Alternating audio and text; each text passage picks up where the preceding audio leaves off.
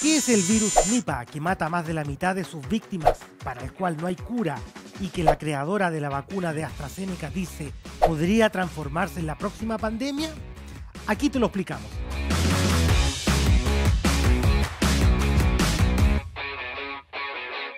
La profesora Dane Sarah Gilbert es una de las creadoras de la vacuna de la Universidad de Oxford junto al laboratorio AstraZeneca. Desde su posición, la científica advirtió que un nuevo virus podría transformarse en la próxima pandemia. Se trata del virus Nipah, para el cual no existe cura y que mata a más de la mitad de sus víctimas, y que si evoluciona para propagarse como el COVID podría ser desastroso, según la experta. Comparó la situación con el SARS-CoV-2, cuya evolución llevó a generar la variante Delta, mucho más contagiosa y letal que la cepa original.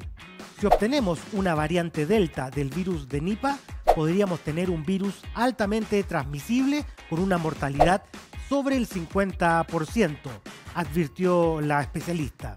Nipah es el primero de una lista de 10 enfermedades que según la Organización Mundial de la Salud podrían transformarse en futuras pandemias.